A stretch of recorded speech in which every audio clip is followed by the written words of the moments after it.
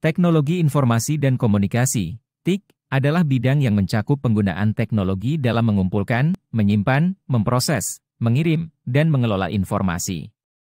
TIK melibatkan perangkat keras, perangkat lunak, jaringan komputer, dan infrastruktur yang mendukung proses tersebut. Tujuan utama dari TIK adalah meningkatkan efisiensi, efektivitas, dan produktivitas dalam berbagai aspek kehidupan, termasuk bisnis, pendidikan, pemerintahan, kesehatan, dan hiburan.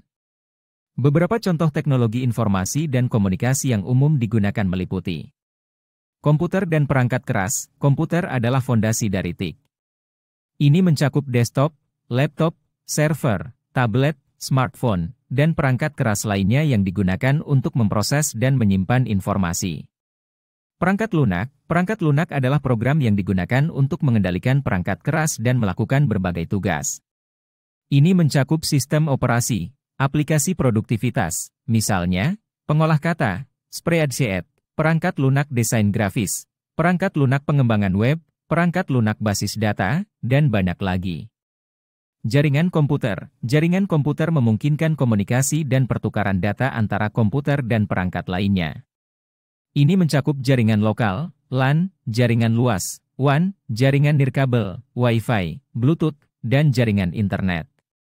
Internet Internet adalah jaringan global yang menghubungkan jutaan komputer di seluruh dunia.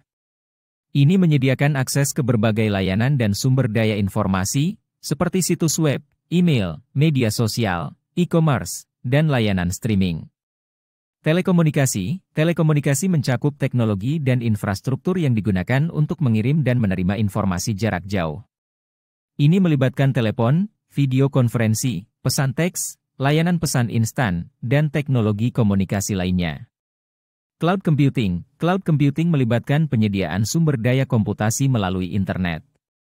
Layanan cloud memungkinkan pengguna untuk menyimpan data, menjalankan aplikasi, dan mengakses sumber daya komputasi lainnya secara fleksibel dan skalabel. Keamanan informasi Keamanan informasi melibatkan perlindungan data dan sistem komputer dari ancaman keamanan.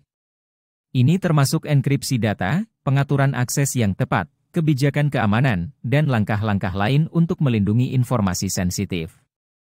Teknologi informasi dan komunikasi terus berkembang pesat, mempengaruhi hampir setiap aspek kehidupan kita. Hal ini membuka peluang baru, mengubah cara kerja, mempercepat komunikasi, dan memberikan akses ke informasi dan layanan yang lebih luas. Sekian dan terima kasih, semoga bermanfaat.